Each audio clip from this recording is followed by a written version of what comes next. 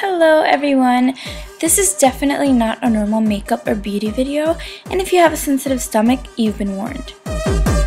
Start off by going crazy with glue and applying it all over your hand or wherever you want to create this effect. Take a piece of one ply toilet paper and kind of rip it unevenly and apply it on top of your glue and kind of bunch it up as best as you can and stick all the edges and smooth them out. After that, you're going to apply another layer of glue on top before applying another layer of toilet paper. And then you're going to repeat those steps one more time so that you have three sheets or layers of toilet paper. Notice that the second layer or second piece of toilet paper is kind of smaller than the first.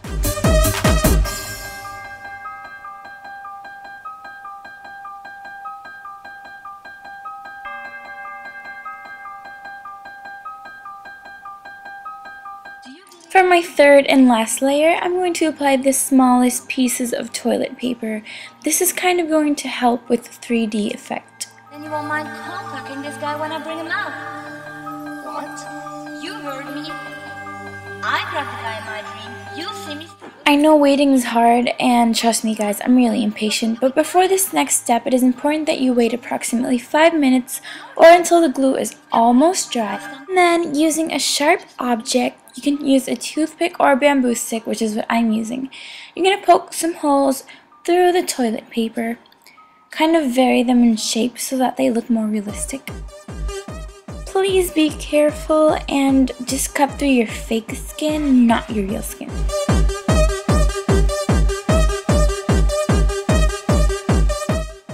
For this next step, you have to wait till everything dries 100% completely well. I stood under the air conditioner for about 5 more minutes until it completely dried. And then I'm just using a blending sponge and applying foundation all over it just to kind of color in the whiteness and the edges where the paper meets my skin.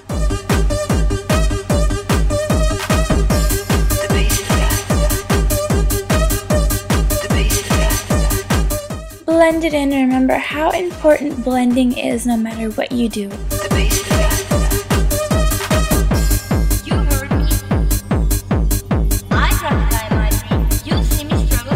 Was fixing the edges before I go on to my next step.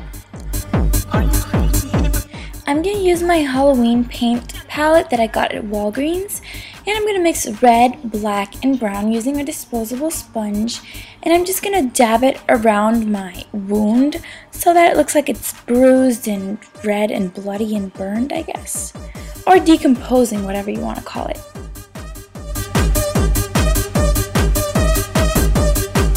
Grab a little bit of purple using your finger and dab that on the paper part of your wound. That's just going to add some bruising around that part and it's just going to add a lot of depth and dimension to it.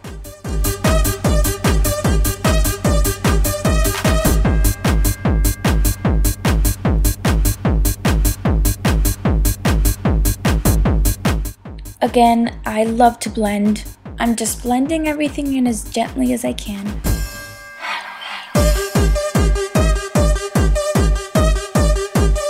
Now I'm just going to use a small brush for everything that I'm going to do next.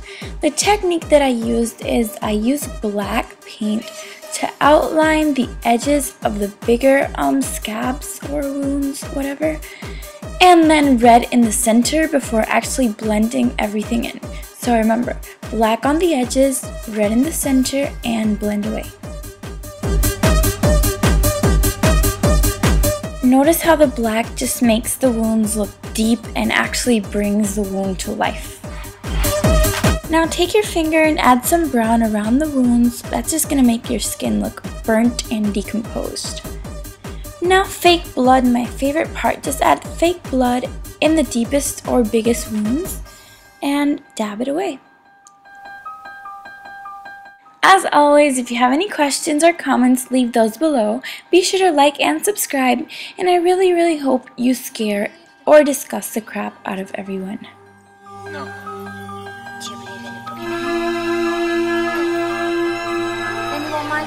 Then this guy when I bring him out?